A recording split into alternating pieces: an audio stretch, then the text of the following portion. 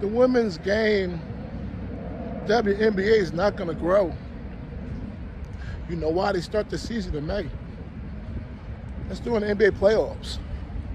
Also, baseball season is in full bloom in May. Most men are not turning from the NBA playoffs.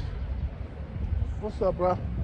Most men are, are not turning the channel to watch the WNBA. It's just not gonna happen. Now remember, May is also baseball season, and there's always football news. So how you gonna grow? How you gonna go up against the NBA and the MLB? The, the WNBA don't have a chance. Shoot, the only reason they're around now is because the NBA pays their salaries. If they didn't, NBA players didn't pay their salaries, they would be out of business. Look, the college game to me is way more exciting than the WNBA. Men will support that. For some reason, and the reasons I mentioned, we're not watching the WNBA.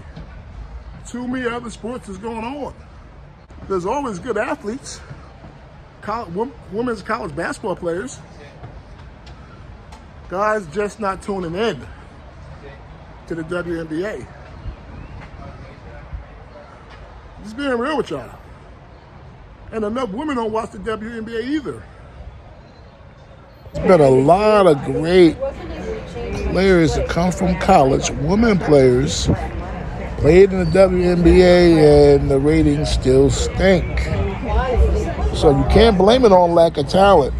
Tons of talented ballers in the WNBA. Just people not watching it. They're not interested. Tried everything as far as marketing the game to get people to watch. It's been around, what, 20, 25 years, and people still not watching the WNBA. So I don't know what they can do to get people to watch the WNBA. Look, I'm gonna holler at y'all later.